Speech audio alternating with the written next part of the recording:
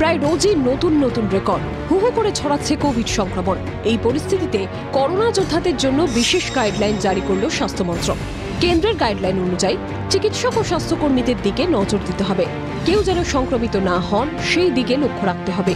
কাজে লাগাতে হবে হাসপাতালের ইনফেকশন কন্ট্রোল কমিটিকে সংক্রমণ এড়াতে কি করণীয় তার প্রশিক্ষণ দিতে হবে। দেখতে হবে স্বাস্থ্যকর্মীরা পিপি পড়ছেন কিনা। স্বাস্থ্যকর্মীদের কারোর উপসর্গ থাকলে তাদের আইসোলেট করতে হবে। তারপর কোভিড টেস্ট করতে হবে। পজিটিভ হলে সাত দিনের আইসোলেশন। নেগেটিভ এলে উপসর্গ থাকলেও নন কোভিড ধরা হবে। করোনা রোগীদের হাসপাতাল থেকে ছাড়া নিয়েও নয়া নির্দেশিকা জারি হয়েছে। কেন্দ্রের গাইডলাইন অনুযায়ী কোনো রোগীর মৃত্যু উপসর্গ থাকলে হাসপাতাল থেকে ছুটি দিয়ে দেওয়া হবে। টানা তিন দিন অক্সিজেনের প্রয়োজন না হলে এই নিয়ম। সেক্ষেত্রে হাসপাতাল থেকে ছুটির আগে পরীক্ষার প্রয়োজন নেই। হাসপাতাল থেকে ছুটির পর সাত দিন হোম আইসোলেশনে থাকতে হবে। চিকিৎসকদের মতে, দিন দিন কোভিড আক্রান্তের সংখ্যা বাড়লেও বেশিরভাগ ক্ষেত্রেই হাসপাতালে ভর্তির প্রয়োজন পড়ছে না। বাড়িতে আইসোলেশন ডে থেকেই সুস্থ হয়ে উঠছেন বেশিরভাগ রোগী।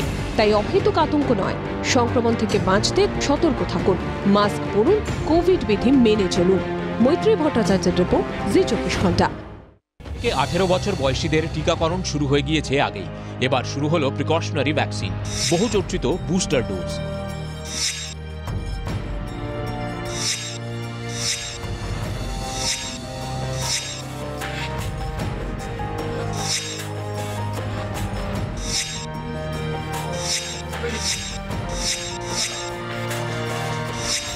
সোমবার কলকাতার সরকারি, বেসরকারি সব হাসপাতালের ছবিটা কম বেশি একরকমই ছিল।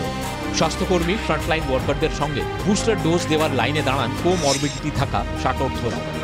বুস্টার ডোজ যত তাড়াতাড়ি দরকার, সম্ভব নেওয়া দরকার। অ্যাটলিস্ট আমরা একদম ফ্রন্ট লাইনে সবসময় তো কোভিড পেশেন্টদের ডিল করতে হচ্ছে স্পেশালি আমার সার্জিক্যাল ফিল্ডে জন্য কোভিড পেশেন্ট করতেই হচ্ছে এমার্জেন্সি সার্জারিগুলো সেখানে অ্যাটলিস্ট কিছুটা হলো মনের শান্তি হচ্ছে যে আমি একটা কিছু নিয়েছি আমার একটা রক্ষা কবচ একটু হলেও বেশি হচ্ছে অন্যদের থেকে।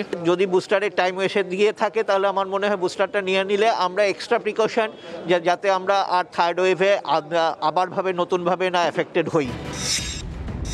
কারা পাবেন এই টিকা? সেকেন্ড ডোজের পর নয় মাস অথবা উনচল্লিশ সপ্তাহ পর মিলবে দ্বিতীয় ডোজ কীভাবে জানবেন? আপনার বুস্টার ডোজের সময় হয়েছে কিনা?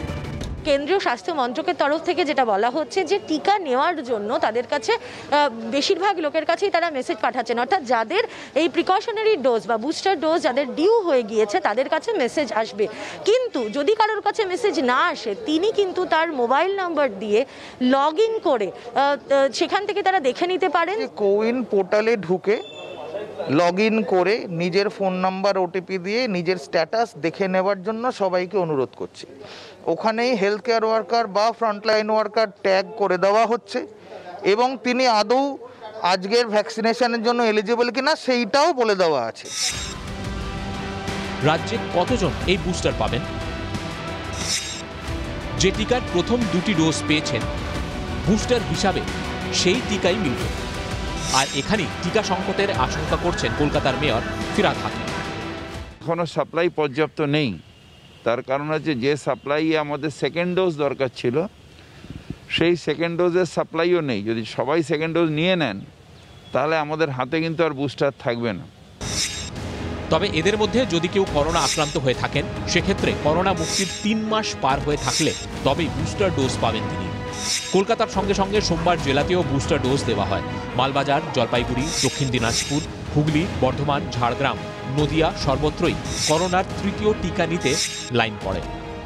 ব্যুরো রিপোর্ট জি চব্বিশ ঘণ্টা।